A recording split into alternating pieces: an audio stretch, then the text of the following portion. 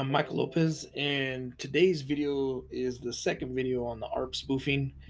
And I threw in some uh, Python, uh, PyCharm installation, and um, other stuff that you know the book doesn't really tell you, like GitHub repository and stuff. So enjoy. All right, so where did we leave off? So in the last video we left off um right here. And uh, we checked the MAC address to make sure that this was working. So we, we verified one, two, and all these. So um, that was working. Now we're here. So um, let's get going.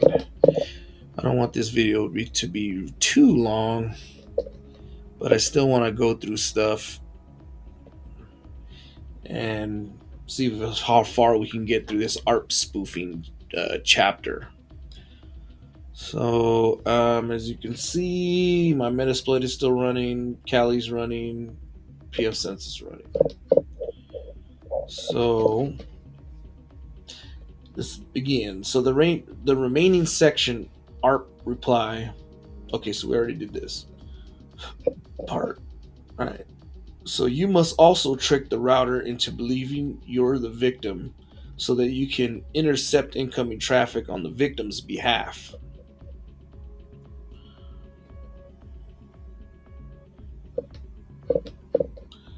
Open a new terminal, terminal and run the command that follows.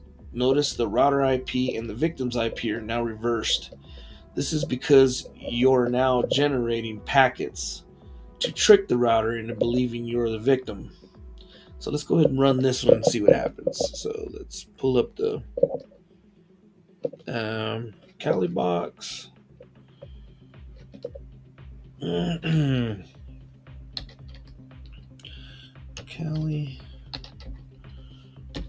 Kali.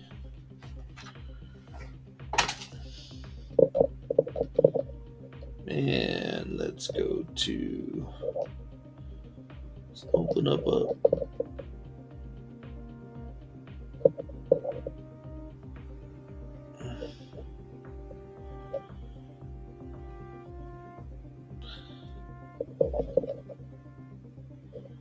hmm, let's see what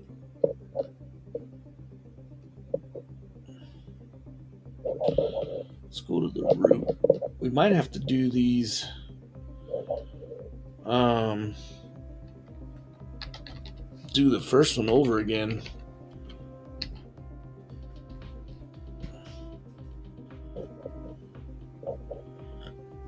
Come on.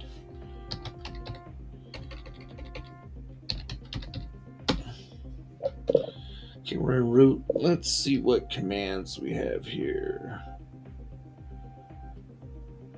Okay, let's run this one again. Let's make sure that it's right.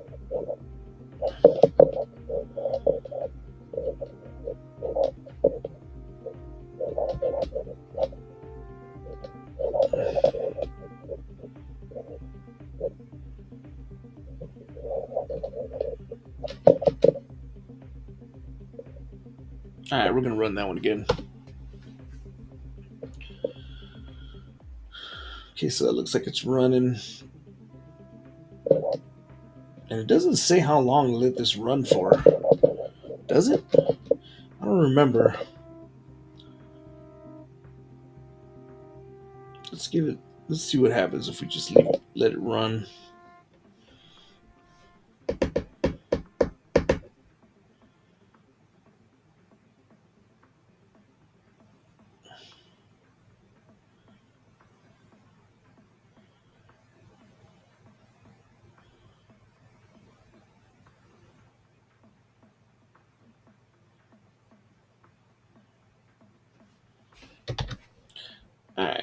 Out of that. Let's now let's run it backwards.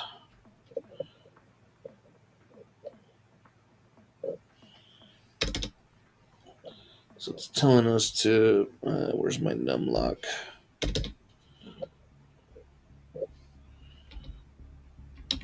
run it backwards as well.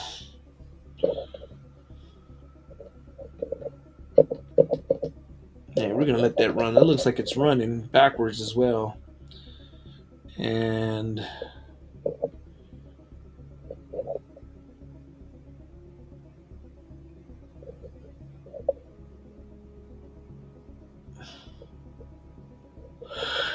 notice that it's replying from 100 now instead of 1. I'm going to stop that. I want to see if that says, you know, run it. Uh, okay. Let's see what it says. Okay, notice the okay. Notice. This is because you are now generating packets to trick the router into believing you're the victim. Now that you've spoofed the victim's router, what can you do with the intercepted packets? Let's inspect the packets we've intercepted and extract URLs from them. This will allow us to generate a list of websites that the victim visits. Know, and that could be a bank website, that could be his, her, his or her um, um, uh, any kind of mortgage website, pay their mortgage, you know, anything.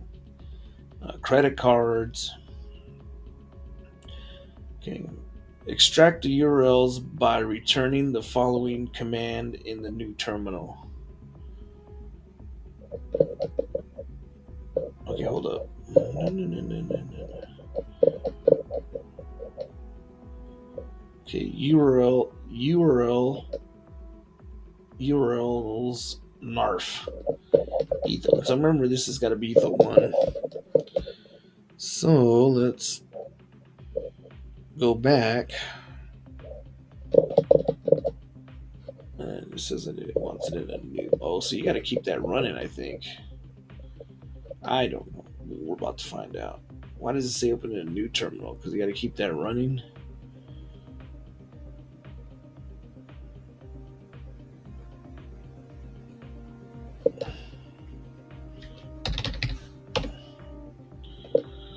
All right.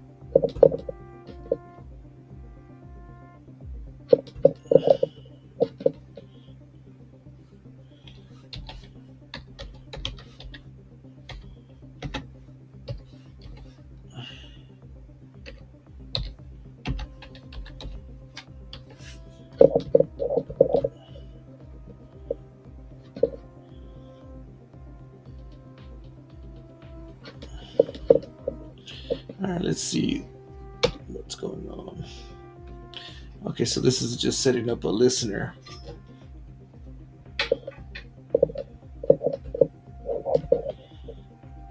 Oh, that's why you had to open it up in a new terminal.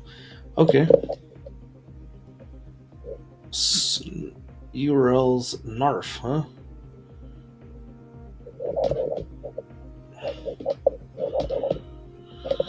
All right.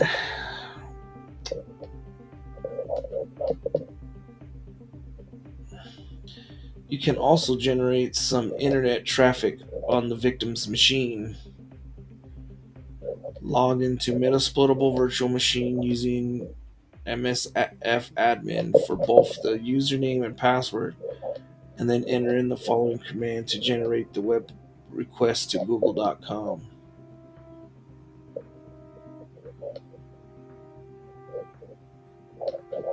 Okay, figure 2 5 shows an overview of what's occurring in this step. Ha ha ha. Tricked you into believing I am the router. Now I can see your web traffic.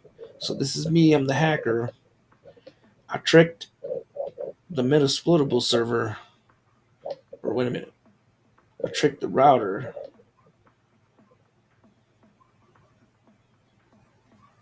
That now I can see your traffic. Oh, wait a minute. Yeah. Metasplitable.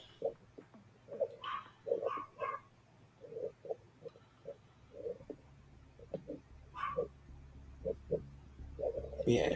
So, no, we tricked the Metasplitable server into thinking that we're the we're the firewall, pfSense router or firewall. So then now it's sending us the information first. So that's why there's a line here. And we can see their uh, now I can see your web traffic.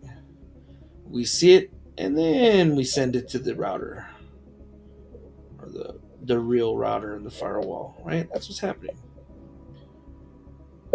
If you've done everything correctly, the URL associated with the web request will show up in the terminal after a couple minutes. Be patient; it takes time to parse the packets. So remember when we ran this, we should see get we should see what exactly what they looked at. So let's try that. Okay. Let's go in here and we gotta enter uh, w get and w get you gotta Google that. That's a command that um, gets internet URL addresses, right? Or you can get stuff from the URL You can download stuff and stuff like that. But I guess this one right here is just getting the website. Um, so let's go into our Metasploitable since we're we're already hacked into it. And let's we're already logged in, so let's w get stuff. So this is saying w get HTTP. So we're listening on this guy's um, on this guy's uh, server, right? Or wherever this is. Or this is our victims. What the heck am I doing?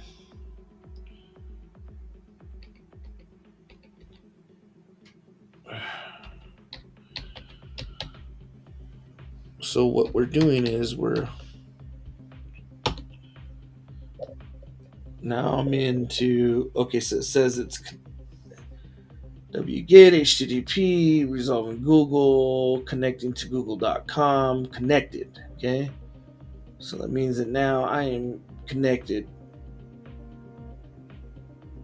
It's google.com anyways so we did what the book says. Now let's see. So this would be like the victim. He's searching the internet, right? And we want to intercept it first. We, you know, so here on that listening um, command we set up, it should show up right here. There and there it is. See, it didn't take that long. So URL snarf listening on Ether 1 TCP port, whatever, right? Now, this is why these ports here, TCP port 80, uh, TC, uh, or port 8080, or port, it's listening on these ports to see what traffic. Um, the oh wait, it's just listening on this. I don't know. Anyways, it picked up. Uh, it picked up his what what our victim is trying to um, did the w get google.com google.com see? Now it's saying it's listening on this um, network okay? And that's what it's that's what it's showing here on eth1 so that's why it has like the ip address here. So this IP, but wait a minute, 100 was that? 100 was our firewall, right? So, but, so, all right, so let's look at, okay, hold on.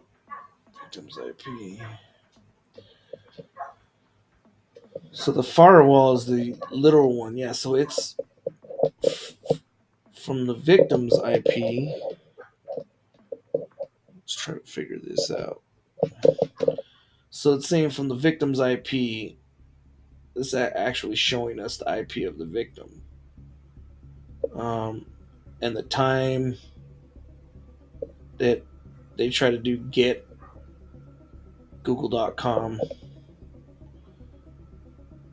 and I guess you have to write do that get. But if I if it was like a desktop, I'm sure whatever he's surfing or whatever he's looking at, it would have showed. So let's go. Let's see if they ask us to do some more stuff. So that worked. That's awesome. Let's go ask see if they ask us to do some more stuff here. If you've done everything right, yeah, yeah, yeah. Sudo URL, sudo URL stop. So this is what we got. That's exactly what we got, so that worked. Okay, take a look at, at this output. Although we're showing only URL here, the attacking machine is capturing all of the packets the victim sends and receives from the internet. This means that the attacker can see un, unencrypted information the victim sends over the network. It also means an attacker can modify packets to inject malicious code into the machine. Once you done once you're done performing your malicious action, don't leave the ARP table in in the corrupted state. After the attacker leaves the coffee shop, the victim will no longer be able to connect to the internet and they'll suspect foul play. You must restore the ARP tables to the original configuration before shutting down the attack. Thankfully, ARP spoof does this for us. Shut down the attack by pressing Ctrl C in both terminals running ARP spoof protecting yourself against ARP spoofing. And was that it? Although it's difficult to prevent an ARP spoofing attack, encrypting your internet traffic helps protect your information from being stolen or modified. Any traffic sent over HTTPS connection is encrypted. However, manually checking to ensure every URL you visit is HTTPS is tedious. So the Electronic Frontier Foundation, EFF.org, has created a web browser extension for Chrome, Edge, Firefox, and Opera called HTTPS Everywhere that ensures that all your web traffic goes over HTTPS connection. Installing the plugins is a great way to protect yourself. And see, this is what I was talking about. Um, the, if computers or laptops are not protected, you know, like this is the type of stuff you can do. That's awesome to know um, we all know that HTTP is not protected. HTTPS is, and so, um, I mean that's one way to protect yourself, right? Let's see if now this one goes into detecting an ARP spoofing attack. Let's go and do what they said. They said to shut down the um, Control C, and then this one was already stopped, but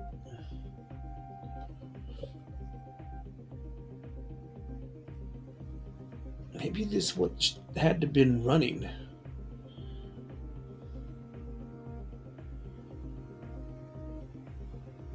Mm-mm-mm-mm-mm anyways, it worked either way. So control C that. Now let's go to the next thing. Detecting an ARP spoof attack. In this section, we'll write a Python program to historic to heuristically detect an ARP spoofing attack. We'll bring our own ARP table using a dictionary and then check to see whether the packets we received has changed any entry.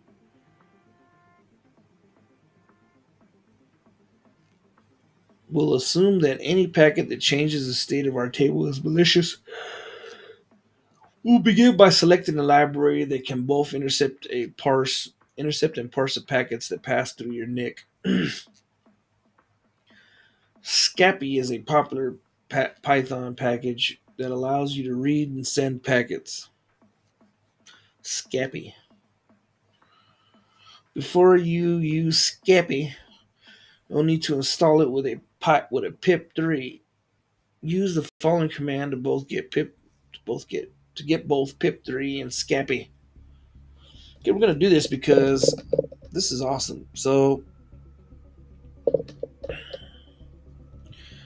um, when you're trying to download a uh,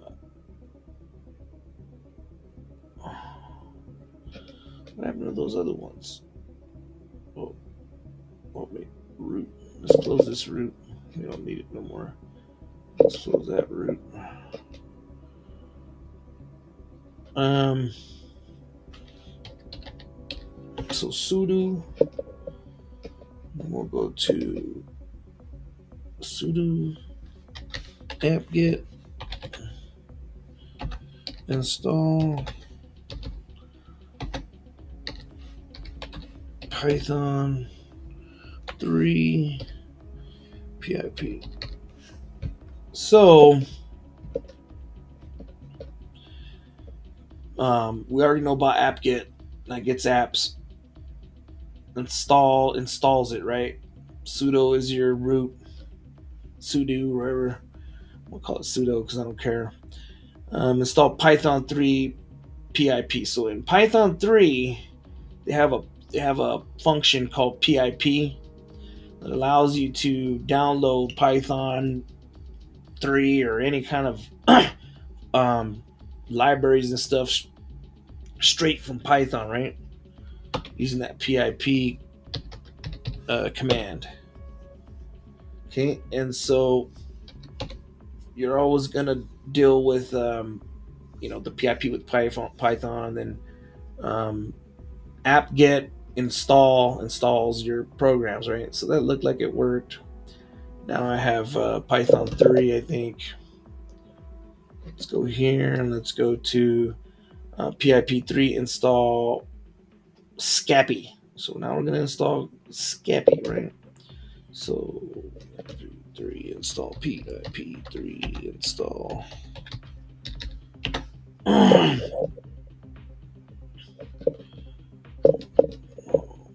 pre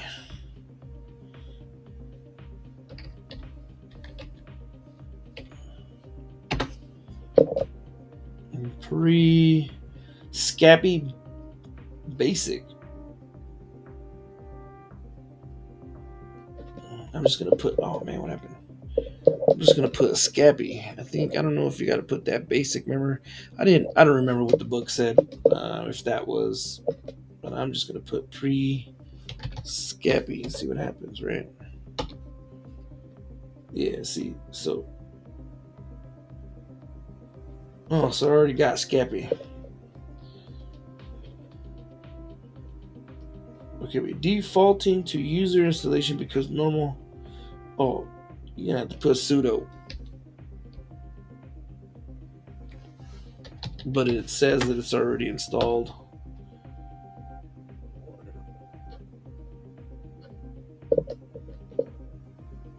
Alright, so since it's already it's already satisfied, Scapy is in my this one set it to.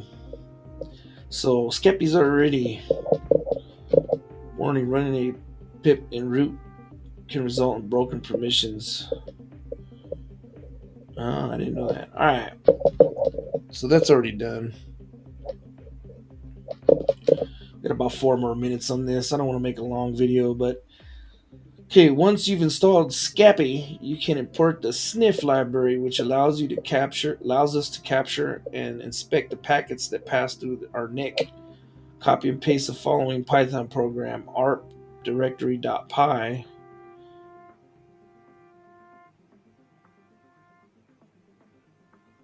into mousepad or code editor of your choice to start mousepad, run mousepad.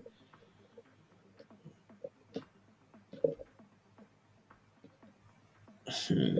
Can I copy and paste this? I can't oh, arpdirector.py. So, what I recommend is you write this code out yourself. Um, and I've got um, PyCharm, I think. Well, no, this is a new Kali Linux box. So it says put it in mousepad, right? Let's go see if we can find mouse pad. I don't think I've ever well, that's not that. I don't think I've ever used it. So I I don't remember using mouse pad. There's mouse pad right there, right? And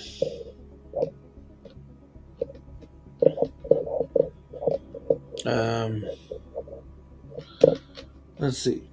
Once you've installed, you can import the sniff library. So this is what this sniff from Scapio import. So if you don't know how to use Python, um, take some classes and learn. You know, I, am I'm probably gonna make another video on the Python, uh, gray hat Python or black hat Python.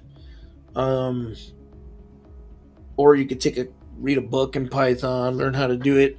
Python's not really complicated. It was made to teach um, people how to program the easiest way, like for children and teens and whatnot. Um, I would say I might skip this. So this might be one thing I'm going to skip because, you know, eh, this is something I probably would do on my own. Like detecting ARP spoofing attack is an invaluable skill, but um, think that it, you know, doing all this, okay, I think is um, basically you're running into programming into Python. And you're going to use Python probably a lot in hacking, um, especially if you're writing your own scanning, you know, if you're writing your own uh, tools or whatnot. Um, but I think that we're gonna skip this one. Okay, now this might be one we're gonna skip, and if you want to go back to it, right, you can. Um,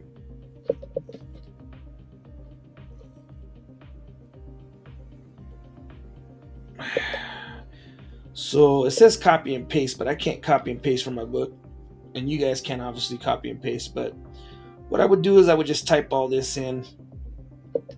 But then if when I gotta type it in, I gotta run it to see if it's working.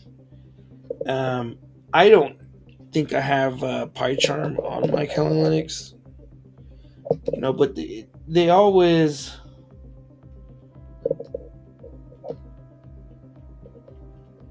um, you can run this. See, it's saying run, you know, this is how you run the program, right? So they did it in the notepad, they put it in the directory, and then they want you to run it, right? So sudo python 3 arpdetector.py, that runs the, the application, this application, right? They want you to name it that, they want you to uh, put it somewhere, and they want you to run it. Um, so, but what, what I would do is I wouldn't run it on mousepad. I mean, that's whack, right? Because mousepad, I've never used mousepad, right? It might be alright, but I think it sucks. Like I would use um, something else. So let's just look at this and see what we can use. So I wouldn't use mousepad. That's whack. Um, let's see if they have PyCharm. So PyCharm. So they don't have PyCharm. Let's see if they have um, um, oh, visual. Nothing visual. Visual. That's why they have you use PyCharm because it's not installed here. So I think what I'm going to do is okay is I'm going to install something a little bit better on this Kali block box, and I'm going to come back and do that. That way it's easier. I think I'm going to install PyCharm. So let's see if I let's see if I even can. So so I can go here and just write type in PyCharm see what see if that works.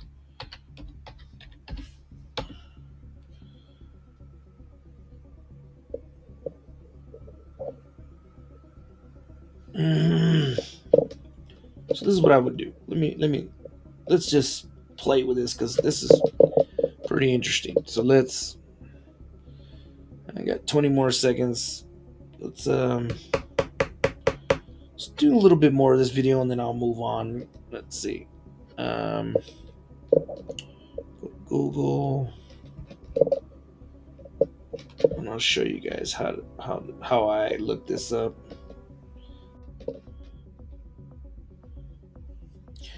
All right, let's see. Uh, how to install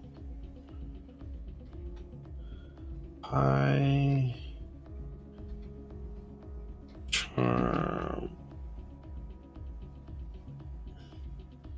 on Linux. And I guess let's look at this. Hey guys, in this video I'm going to show you how you can download and install PyCharm on your Ubuntu operating if you are using the late hyphen hyphen version, right?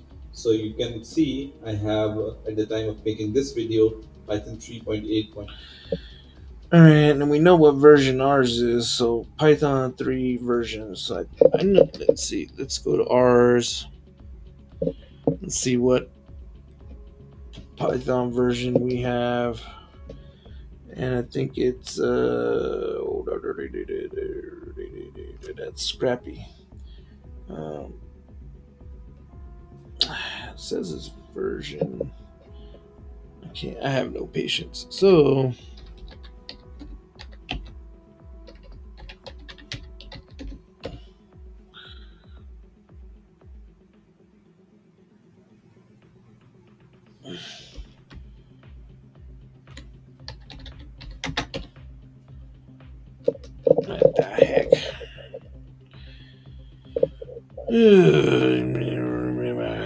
What did this guy? What did this guy have? Uh, Python 3 version. What did I put?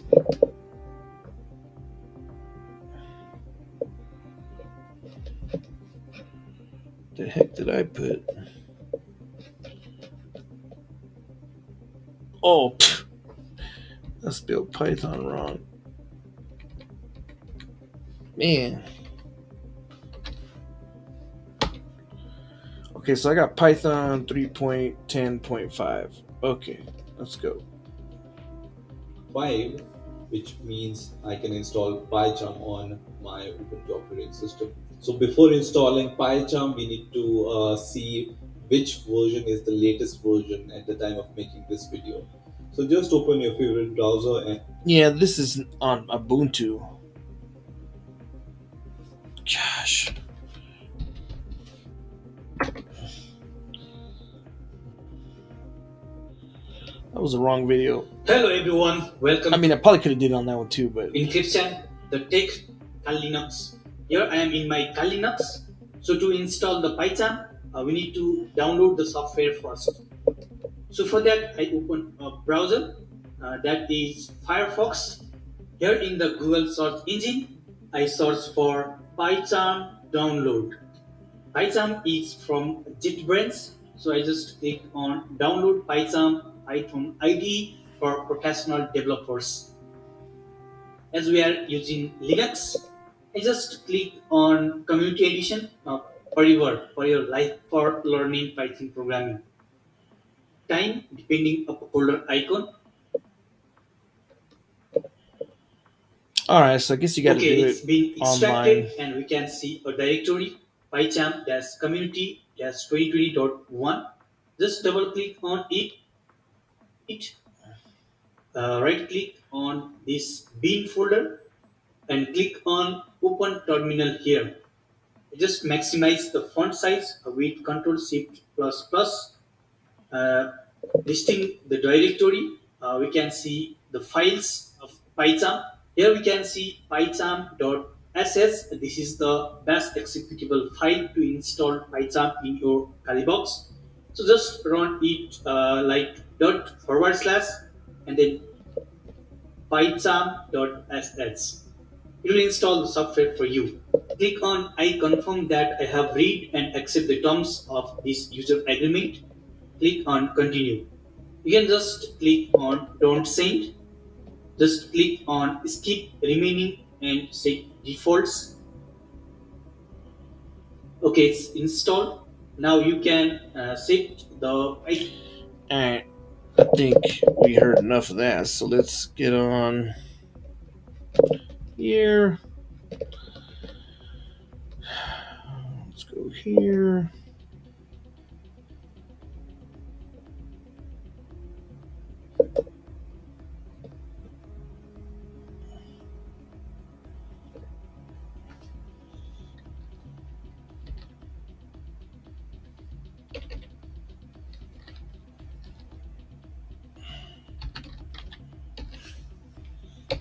PyCharm.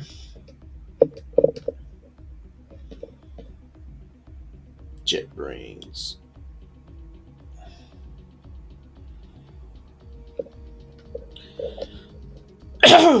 Excuse me.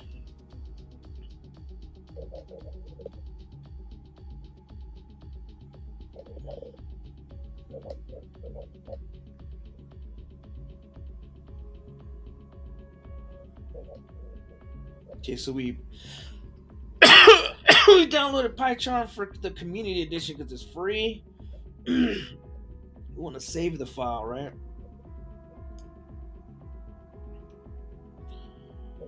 Now part PyCharm community, your tar tar file, tar ball. So, um, this is actually pretty cool too on showing you what steps you have to do to download something. Um, this is pretty uh, valuable as well. So we're gonna we're gonna show you how to,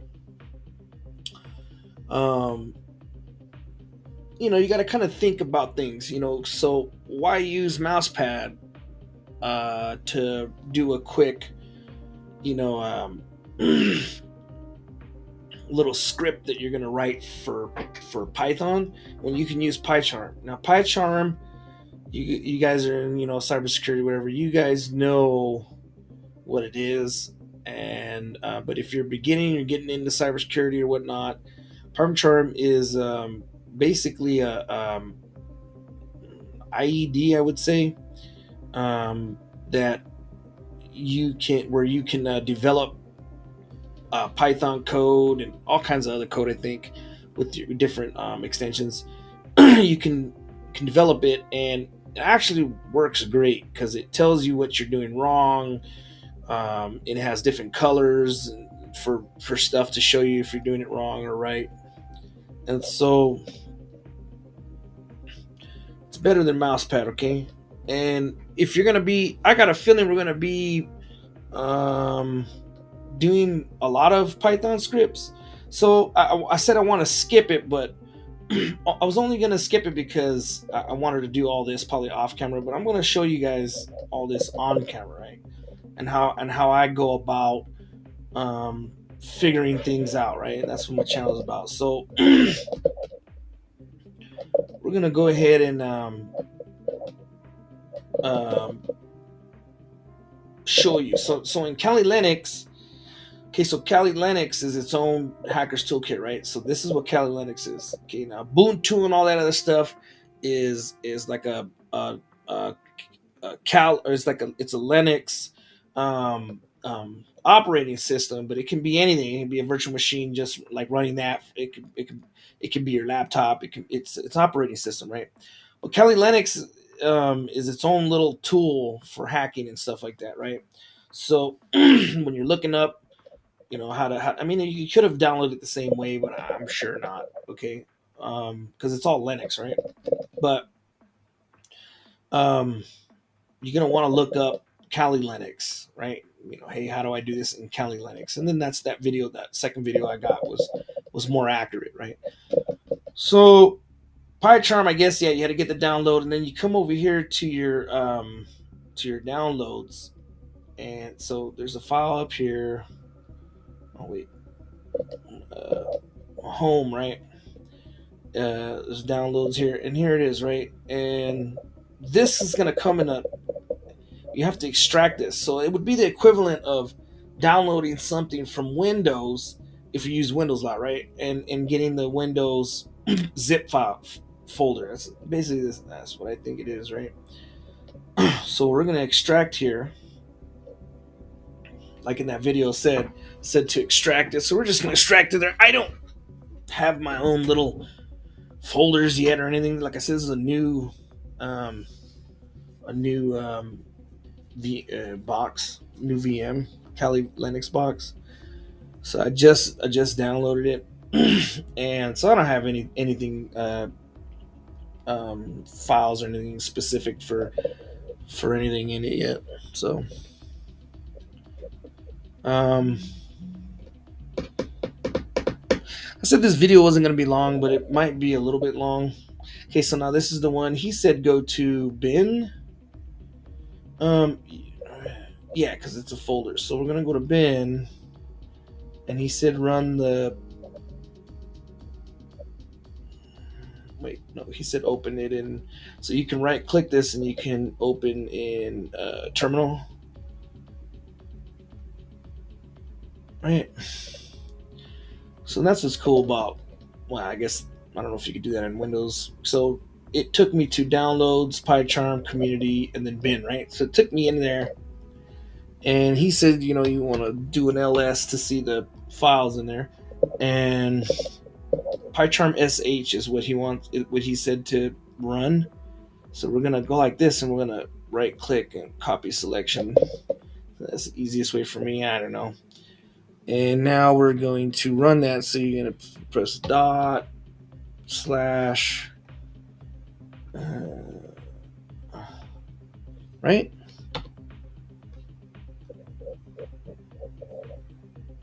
So it looks like it's okay. There you go. So now it's running PyCharm. Okay, so now it's that's you know in in um, Linux it's heavily command based. So this is how you would do it in, in Linux. Like in, in Windows and stuff, you just click on it, click on the execution file, double click on it, right? And here it is. And then when you want to open it, so I think what I would do is I would do this. Uh, man, not there, but um, let's do a new project. So home Kali PyCharm projects Python Python project. Okay. Create script, create. So now, um, we can create, and you can, and if you don't know how to use PyCharm, it's not that hard. Like I'm not gonna go through any crazy uh, advanced stuff in PyCharm. I'm just gonna do simple scripts and run them. Um, and stuff like that.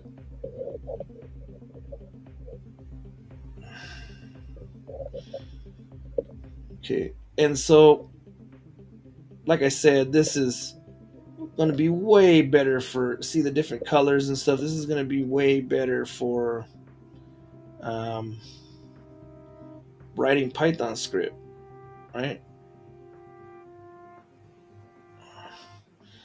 and I can save this main py and call it um, what what the heck was it supposed to be called? Uh, it's called ARP ARP detector.py with the big D, okay? ARP detector.py with big D. I um so that's what we're gonna call it, right? ARP detector. And the, dot .py is already there. That means it's a Python program, right? And that's going to be in home, Kali. This is important, right? PyCharm projects, Python project. Okay, it makes its own little folder. So now when you want to run that, you got to go to that directory and you got to run this. Okay, so now we're going to minimize this, right? And if I close this, I think it's going to close out of that PyCharm. It did. But I can come here and type in PyCharm now, right? It should. Nope. Maybe not. Oh. Oh, oh, oh, oh, oh, oh, oh, oh. Projects.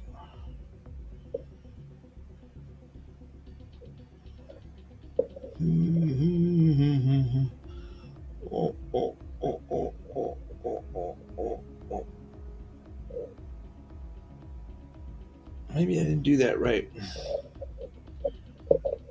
So,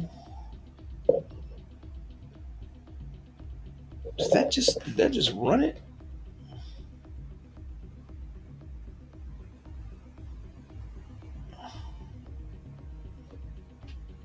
It's not gonna be in here. Recently used.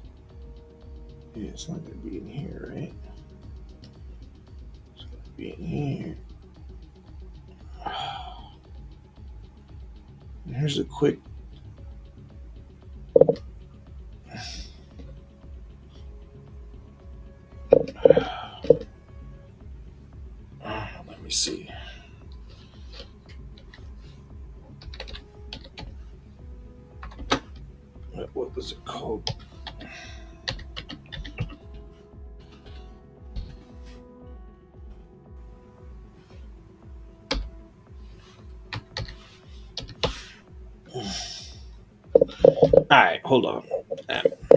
See what this guy says right here. Obviously, I didn't down.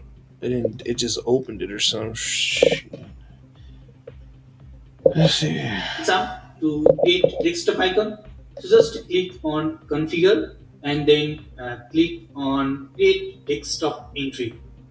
Uh, Just check on this checkbox and click on OK. no, Okay, that's all done. Just close this and close this terminal as well. okay. So that's.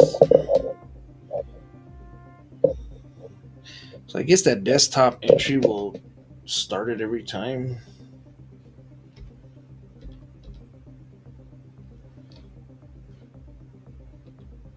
Uh, God, I hate myself. That's the only thing I hate about this. Uh, using Windows and then using uh, going to Linux.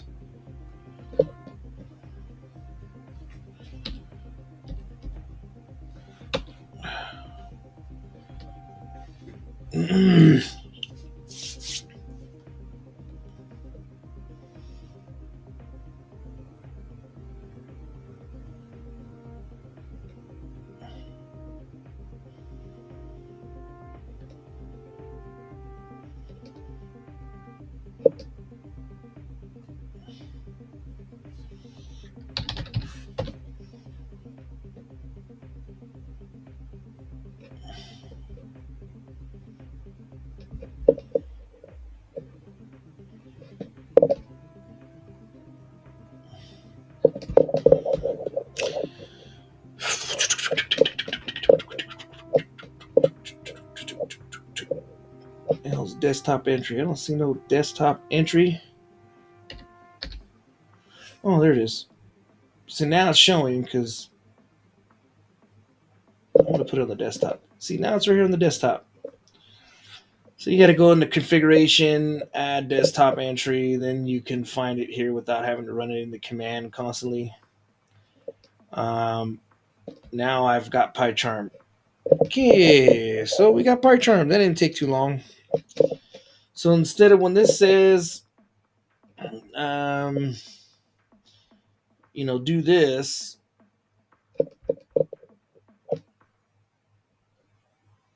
we named it this.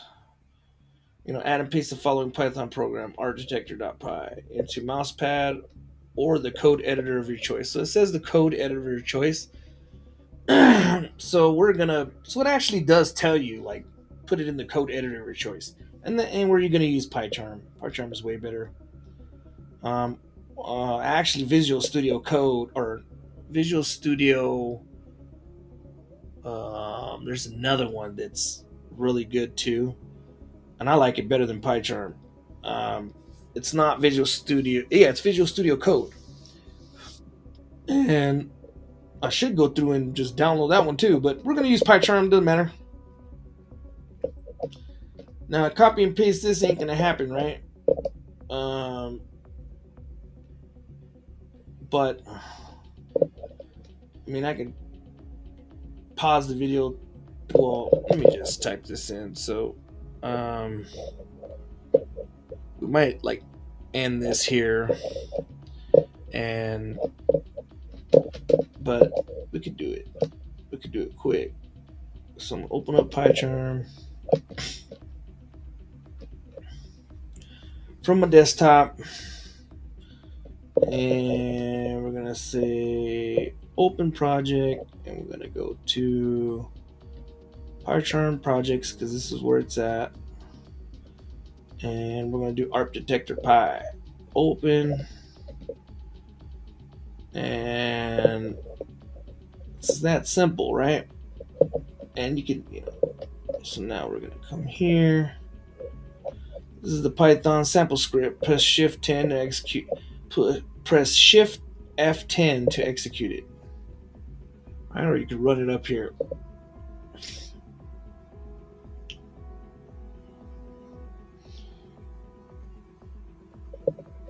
Man, we're gonna come in here and just delete all this crap. We don't need it, right? we're gonna open this and I'm gonna start here from let me put my keyboard from Scapy because we have Scapy installed, right? Dot all import sniff. Okay, now if you look at this, see how that looks all nice? There's no squiggly lines, there's no stuff to tell you. So this is what so if I go like this, if I put Scappy with the two Y's, and then I don't know why that didn't work, but it should tell me if something's wrong, right? Sniffed. Hmm, maybe not. I don't know. Let me try to run this. So you press run.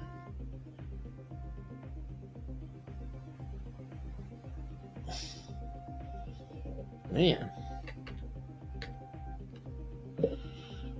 Maybe I was wrong.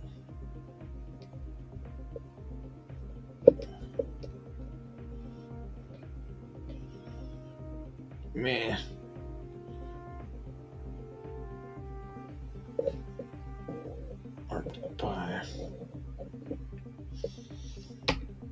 Hmm. Maybe. I haven't used, I haven't written a script in a minute. so, how can I copy and paste this? I mean, usually it's on the GitHub. It might be on GitHub. If you go through this book, probably give you like a GitHub directory where you can get all this off of. Um, but in the meantime, let me pause this video because that's going to take a minute. I'm going to type this in and then we'll go from there. All right, give me a second. Since you guys already know how to. All right, I'm back. So let's look at this instructions. I wrote the code and let's see what I did wrong because always got to be something wrong. So here's the code and in PyCharm when you write it um, it'll tell you if you have any mistakes, but we're gonna have to read this and see. It might work, might not work, but we're about to find out. So, um, this is what the code looks like, right? We named it ARP detector detector dot py. I'm gonna run through this and tell you what it's doing. So, first of all, we imported some libraries, right? Port sniff library. from Scapy. That's why we downloaded Scapy. it's a sniffer. Okay. So definition process packet. So we're creating a method or function in Python. Uh, I forget what they call them, but in C sharp, they're methods or functions. This one is literally a, a definition, right? And so we're setting up the source IP to be the ARP packet parsed or whatever. We're setting up the source MAC address to be on Ether. Now that might have to be Ether 1, but I think Ether is okay for now, but we're going to troubleshoot that. We're saying that if the source MAC in the IP MAC keys um, and then if the MAC map source MAC is not the source IP, then it wants to try for the old IP and then accept the old IP unknown and then throw out a message. Now the message is a little bit longer, but I shortened it up. So I just said possible ARP attack detected because I didn't feel like doing everything else return it returns the message else the IP MAC source MAC equals the source IP. So it's setting it back the way it used to be at the end, right? We're gonna we're gonna go through and read this. now I have that set up and I saved all. So you save all here, it saves it in this in the Python projects directory, which is cool.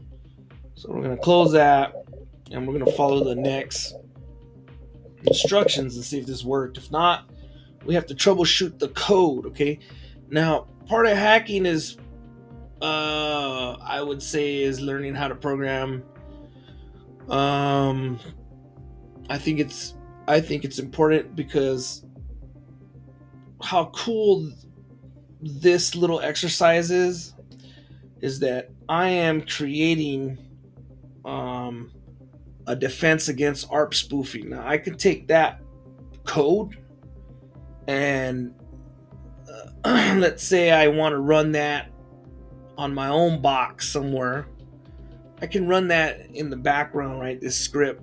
And if anybody is trying to do an ARP spoof thing, it'll tell me, right? Um, the the the the idea that this is you know what they're having us do is very cool for hackers right? Because you you know and then what i recommend is like what i'm going to do with this code okay with that little script is i'm going to keep that little script. Why not? Um, if i ever need it i've got it. You know i'm saying? So like if i'm out and i'm like hey you know don't i have an arp spoof detector? Um, uh, application written in python you do i do and i'll have it in here right and and that's the whole point of of having one of these uh, Kali boxes is that as we go on through this, um, we know that we have all these things we're writing and we're using. We know that they work. We know how they work if we can get them to work, and we know we have them. They're on our Kali box, right? and so if you ever need them, you, you can go and use them. You've got them. You know what I'm saying? You've, you, and, and the more you practice writing um, Python or scripts, the better you're going to be at hacking. Okay, that's all. That's all I gotta say. Um, um, I, I don't know. I, I'm I'm not a professional hacker. I don't I don't you know. But all I know is that um, learning Python and how, how to write scripts cannot hurt you. Okay, so that's why I'm I've done this right and so my background, I was a software engineer, so I, I can read the code, I can write write Python code and scripting and stuff like that. So let's figure it out, right? Let's figure it out together. So this one says once you've installed Scapy and you import that, you know, copy this. We already did that. Okay, now we've already did this. Now the next step is the sniff function, number one, right here. In the Scapy library takes several optional parameters in this implementation, we use the count parameter to indicate the number of packets to sniff. A count value of zero means that the library should continuously sniff packets. That's why we put count zero there at the bottom. We also use the filter parameter, which specifies the type of packet to capture, which is ARP. We want to capture the ARP packets on the filter. Because we're interested in only ARP packets, we specify a filter value of ARP. Right? There it is. The, the store parameter indicates the number of packets to store. We set the parameter to zero because we don't want to waste memory by storing packets, so we don't want to waste it to zero. Lastly, the prn parameter is a functional pointer that points to the function called whenever a packet is received. It takes a single parameter, which represents the received packets as an input. Okay? So now it wants us to run this. So it wants us to run this program, right? So we're gonna go run that. And so I'm gonna open back up my and and you know it seems like it's running. So let's see. It, it might not be, but let's go here. We'll open up this and no, not this. What we're gonna do is this is the easier way for me. I'm gonna open this and I'm gonna go to my uh Py. I'm already in Kali home. I'll go to my PyCharm projects, PyCharm projects, and here they are, right? So I'm gonna go back, open up this directory in the terminal here, and now I'm in that terminal, right? That directory. So now you know I already know I've already did this. So I, what you want to go is you want to do ls, and then there's my my program I want to I want to run, right? So I'm gonna press up because I've already done this. So sudo Python. Now you don't. The, the book says Python three, but you can run it in Python too. But I'm gonna I'm gonna put the Python three right arpdetector.py, and that runs the Python program. So remember, it's Python three arpdetector.py is how you run it, right? So we're gonna run that. It wants a code from my, my sudo Okay, it looks like it's running, right? So, oh no, something happened. Okay, so I'm getting errors, right? Oh, that's awesome. Okay. Okay, so I don't know what happened, but that's giving me some errors. But now what I'll do is I'm gonna close this, and I'll just open up my PyCharm Ultra here, and I can run this, and I'll get the errors in here. So run. So, yeah, so I did this and it didn't have any errors. I, I wonder what happened. Okay, so trace back most. So so this is this is basically telling me there's something wrong with my program, and it tells you what lines it is. That's what's great about PyCharm. You're not gonna get that in uh, in Mousepad, I don't think, right? So file projects PyCharms dictor py line 21. So line 21 is here and module sniff. Okay, file Python packet Scapy. In Scapy, it's getting some, but the, I'm not worried about that. In Scapy and Scapy.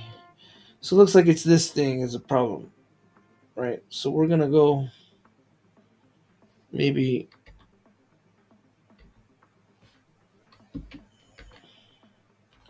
Try it right there. I had it over here with the def. It might have to be right there. So we're gonna run. Okay, see, looks like I'm not getting any more errors. I don't know. Let's see. It executed. It, it shut off, right? But, but we don't know if that is normal. Okay, so we're gonna go back here, open this back up with the here. And we're gonna run this again three. And put this back in. Okay, so that closed, right? It ran and then closed, didn't even run. So it's doing the same thing in there. What does that say? Let's see. So the thing is, we're gonna have to troubleshoot this code, right? And I would think right here in these brackets you want to put in your your IP. Oh, no, no, that's it. that's that's okay. That's your IP MAC map. Okay, never mind. So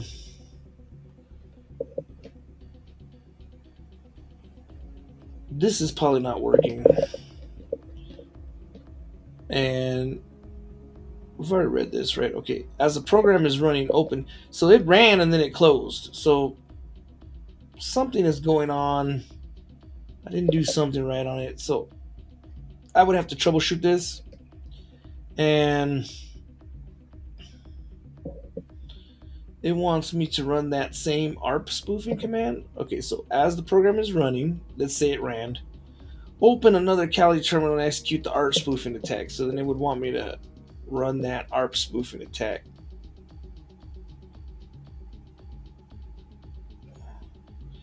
But I don't think that's going to work because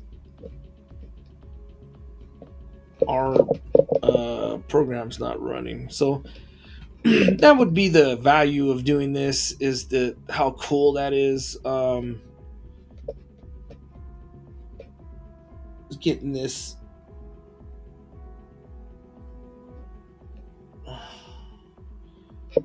yeah so this is not let's close that one getting this uh, application to work i mean this script to work right and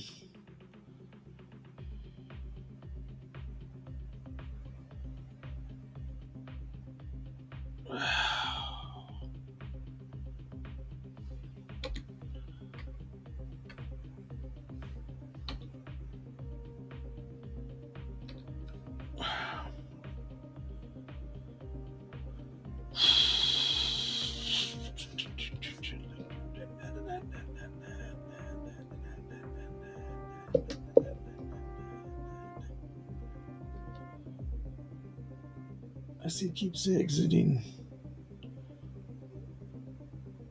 Now I could debug through this. Um, but I don't remember how to debug through this. I think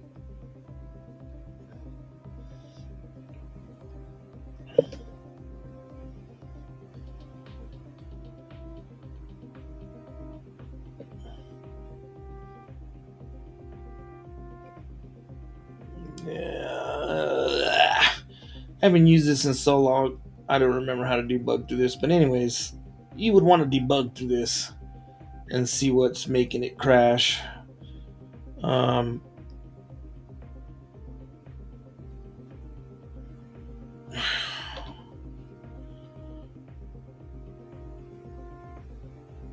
I'm pretty sure this has to be here. I don't see why that wouldn't be there. And then this.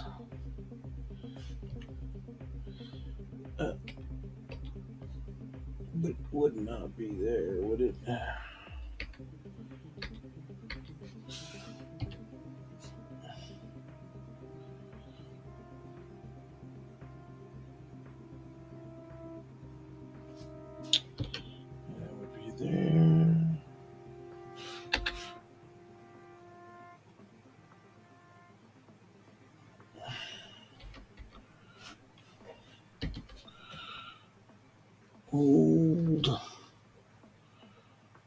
See, I like to do this.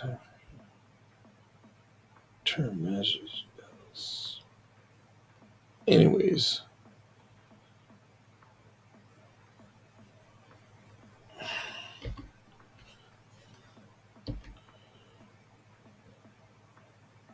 It's the same.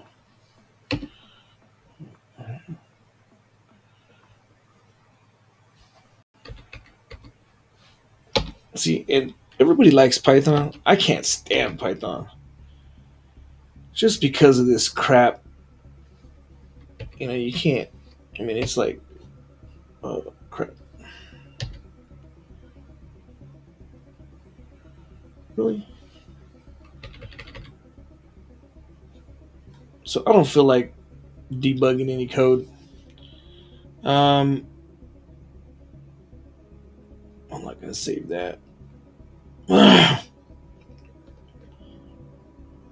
but I think I'll do another video on this.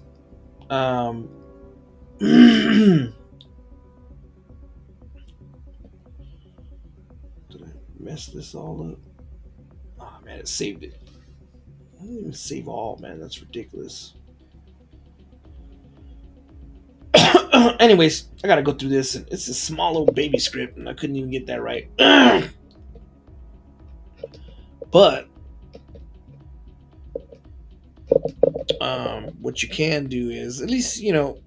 I think I'm gonna I'm, I'm gonna make another video with uh with that, and I'll go through all the you know separate uh, programming and troubleshooting code and stuff. But I mean, that's kind of like a I would say uh, going the extra mile. When you're hacking, I guess, or if you're trying to learn how to hack, this would be a little bit more advanced because there's a lot of well, not, I mean, I guess not for hackers, but there's a lot of people that are in cybersecurity that know how to run the tools and all that stuff, and they can't program. So, I mean, it would be something that's cool to learn, but we're gonna skip it, right? But at least you you got some idea that how to download PyCharm and you learned a little bit, right? And you learned about you know how to run the application. Um, this is a little more advanced because I really don't feel like sitting here for another 30 minutes trying to, you know, troubleshoot this code, getting it to run because I can and I will. It's not hard. This is a small script. Getting it to work, getting it to run, and then you know, then and then just to ultimately see it go. Oh, possible ARP, ARP attack. So we're gonna skip that. so on the next video, we'll do the exercises, and you know here's another python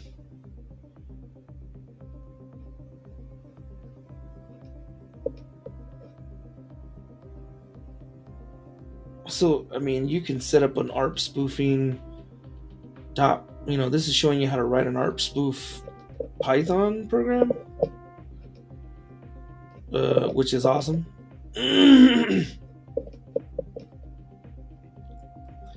Then it tells you what, what you're doing, what you're writing.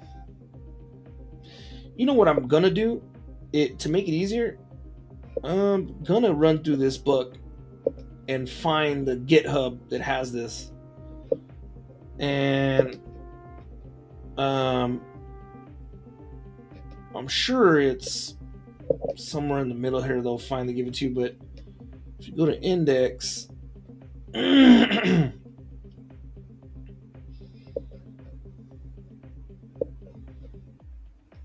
Yeah, I gotta. Yeah, this is gonna use a lot of Python. So I'm gonna get the GitHub. Yeah, see, look.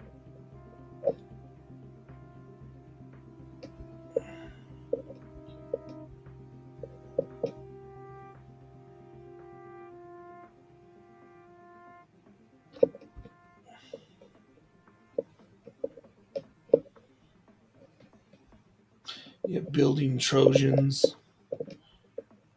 This is going to use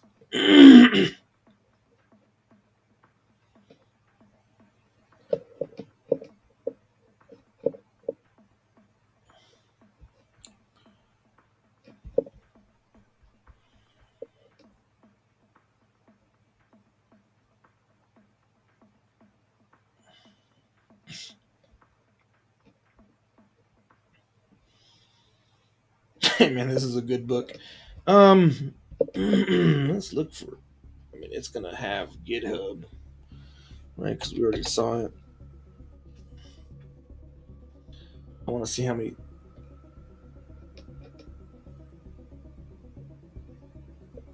Oh yeah, see here it is. Look.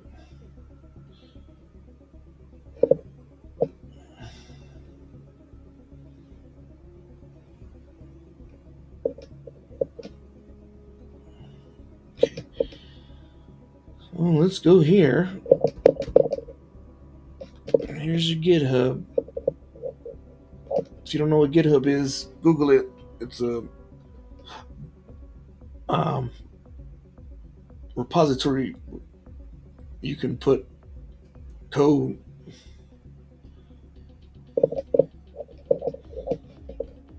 PCAP files. So this is the PCAP file. But if I go ethical hacking, book site, code chapter, code chapter. I think we're on. Oh, see, it doesn't give you anything for well, yeah. ARP directory dot ARP detector dot py. There it is. So you just copy this.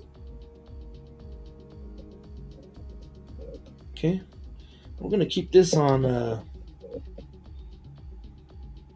oh man, I'm in a VM. I forgot.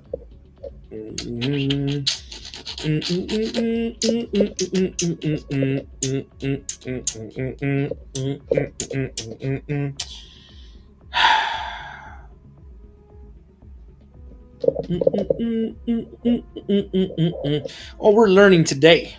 You guys are to learn the tricks today.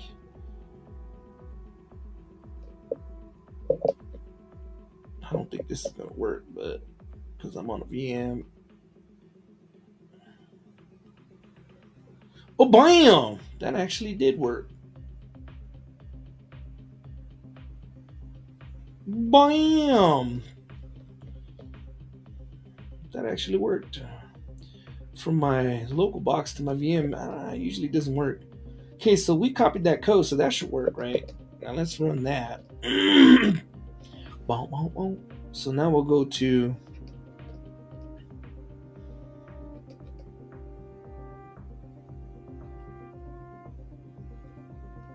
open terminal here.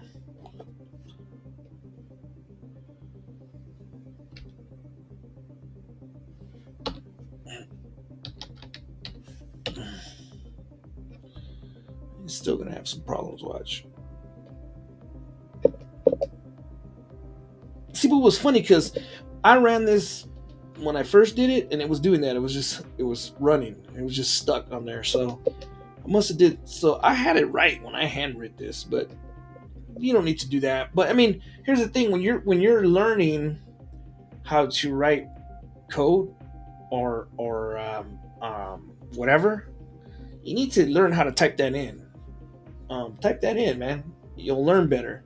Don't just copy and paste. A lot of people are copying and pasting scripts and all this shit, and they do that like in actual job too. Like people that that are coders or software engineers will just copy and paste stuff from from everywhere. Github you know and, and they're putting it on uh, boards and stuff. Do not do that. I mean you can do that sometimes but um, if you're in a hurry but that doesn't teach you how to code and you're just doing yourself a doing yourself you know you're cheating yourself so type all that in learn what you're typing as you're doing it, right? That's how I believe. I I don't know. I don't know anything. You know what I'm saying? But all I know is I became a little a better troubleshooter in programming by typing in my own shit, typing in my own code instead of just stealing everybody's code online, creating my own code with my own creativity and my own mind and my own brain. Now, if you don't even got time to do that, I mean, you can't. You don't got time to do that. Okay, so that looks like it's running. Okay, and I'm gonna open up another code. Uh, let's uh, close this one. Now let's run that ARP spoof again and see if it pops up here, right? And if this works, it, it is really cool. So, okay. So I'm gonna come here and we're gonna run that first.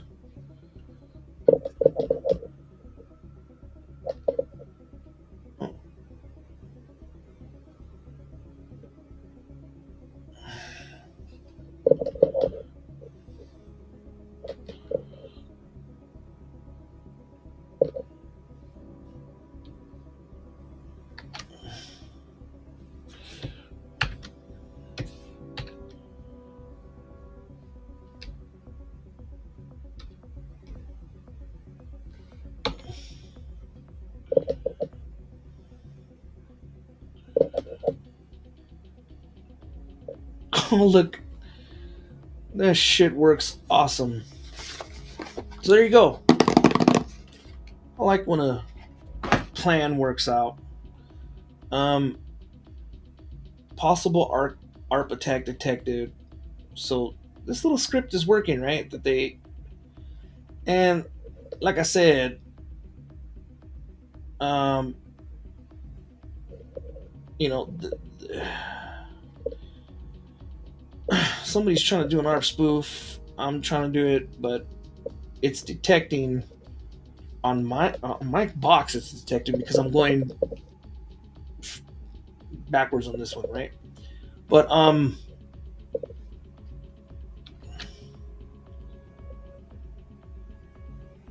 Yeah, so now it's closing that. So cleaning up. So Control C is how you can clean that up. Did I do it on the other one? Yeah, cleaning up art targets. All right. Anyways, so that's how you do that, right? Let's go back to here. This worked. This little script worked.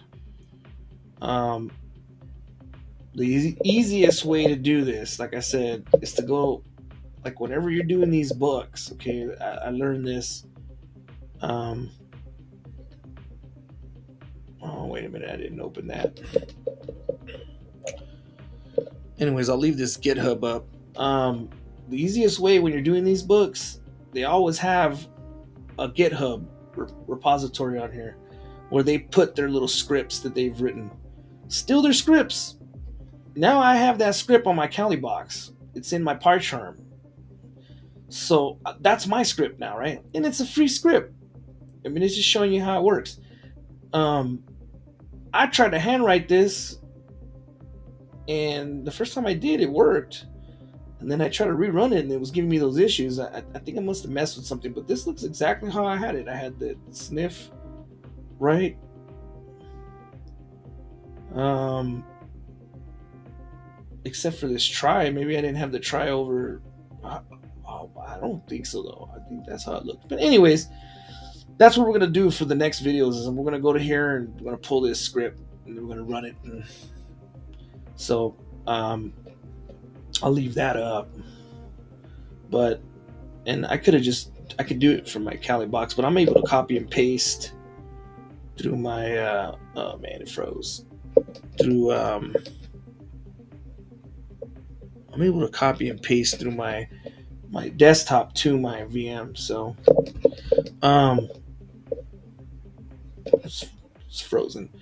All right, so we did that. We learned a lot, I hope. Um especially if you're a beginner. Um kind of like I am. I I mean, I'm doing all this stuff for the first. I mean, not for the first time. I've done all this before, but I'm I'm doing it. It feels like for the first time. you know, I've done this a thousand times already. I don't, you know, but it's okay. All right, let's go to. Uh, so we were on chapter two, right, right here. So we've done this. Now we're on. So detecting an ARP spoof attack. Remember, we're just gonna start downloading those scripts. And my video ended again, so this is gonna be a really long video again too. But I mean, you're learning a bunch. Let's recap on everything we everything we learned. So when you're doing these books, okay, you're trying to learn for yourself. That's the whole part point of my video, right?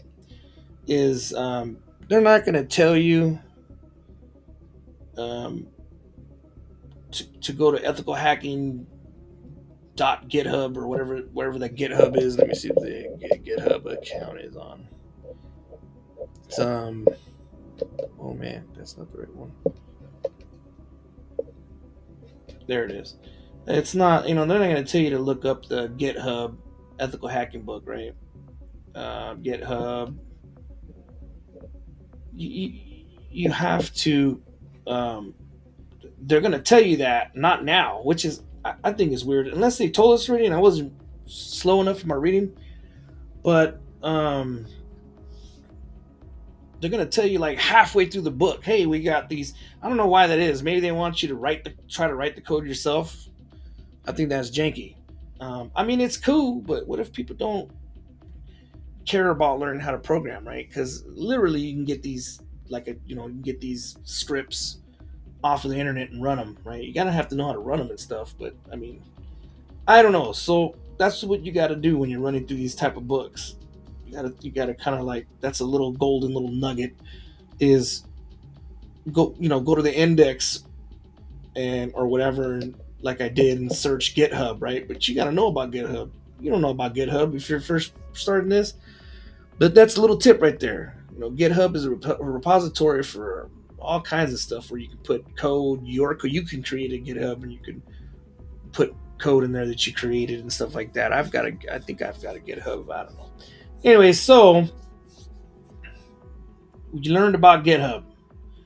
So what we're gonna do is we're gonna go to GitHub. We're gonna take these, make them easier when we're on Roam. This thing worked. It detected a spoof and then told me, our our spoof spoofing and then told me right. So it worked. Um, you learned how to download, I guess, PyCharm if you know, um, because PyCharm I think is a lot better than the uh, mouse pad that they wanted us to use in this book. And they say, or a con- code editor of your choice. But if you're that's why at the start of this book it says who's this book is for. I didn't read it, but I'm sure it says this book is for people that have experience already, and that's not fair. Right? But life is not fair. So, you know, you can benefit from from my experience and all my reading and and and learning how all this works and then, you know, and I'll make it easier for you guys to want to begin jumping this to this um, because I think that's better. You know, a better way to learn is to is to have the answers for the most part, and then learn how to troubleshoot things and learn how to figure it out yourself. I mean, I think that's more valuable than you know not telling you. and then because some people can't figure it out and they're like, "Oh, this is stupid." Like you could get hung up on so much stuff, even if you you're good at what you you know what you do and you have knowledge like like writing this and you don't know about GitHub, let's say you don't, who knows? And you're writing this and you can't get that program to work, and you're just like, man, I wanted to know if this worked. That's cool. You know, you could get hung up in that and you're, you're not learning that. And you skip that. And then how many times are you going to do that through this book? A hundred times? So you're, you know, so you basically you ain't learning nothing. Okay. And so they're not telling you to go to GitHub and, and download this unless they tell you here somewhere, but I didn't read it. but we did this and it worked, right? Maybe it tells you right here in this exercise, right? But um, next we're going to do this exercise, okay, in the next video. This is a long video, but I mean, it needed a lot of. I mean, this is what we're doing.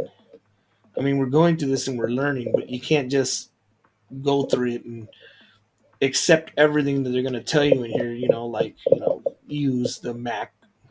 You know, use the MacBook. Use the uh, notebook, mouse pad. You know, um, or the editor of choice. Maybe you don't know what editors to use. You know, you didn't know about PyCharm. Maybe you did. Maybe you didn't.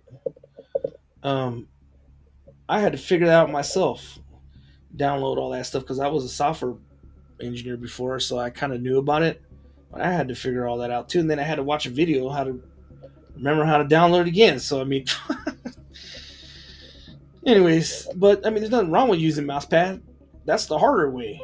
You learn how to write Python in in mousepad um, damn, that's even better. But I mean, you don't need to, man. Why suffer through that? You know, it's just ridiculous. And so, um, you know, we went through that. We downloaded that. Now, now, uh, uh, theoretically, if you're following these videos and whatnot, you have, just like I do, you know, PyCharm already on there. That's good for anything later. If you're gonna go to school, if you're gonna use this, you can use your, you can use this Kali box for anything, man. Um, I mean, invaluable okay what we're doing here it's just great for you know gives you a, a leg up when you're going to school, or if, even if you don't want to go to school, it still gives you a leg up, and or at least you'll be on par with people when they when they're you know talking about hacking or setting up a VM or do you know about PyCharm? Yeah, you know I've done it. And I can download it. You know you can help people or whatnot. Um, that's your nature, right? so that's that video. I hope you guys enjoyed it. And, uh, you know, I'll see you next time on uh, Hack the File.